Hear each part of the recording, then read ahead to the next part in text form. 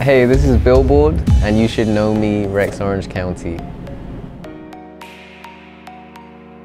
I grew up in a place called Haslemere, which is in the countryside of the UK. My dream job when I was growing up, uh, I remember for like a few days I really wanted to be a dentist.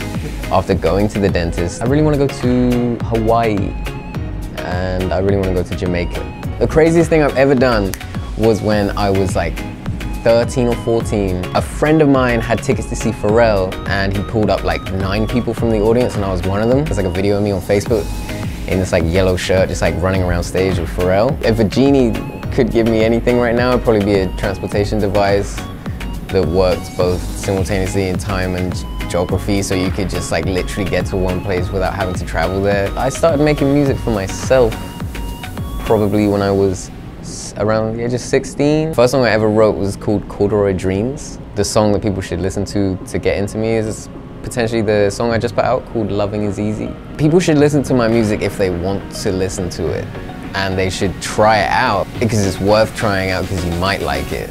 And then if you do, then you're gonna listen to it all the time and enjoy yourself listening to it. And that's why you should if you potentially end up liking it.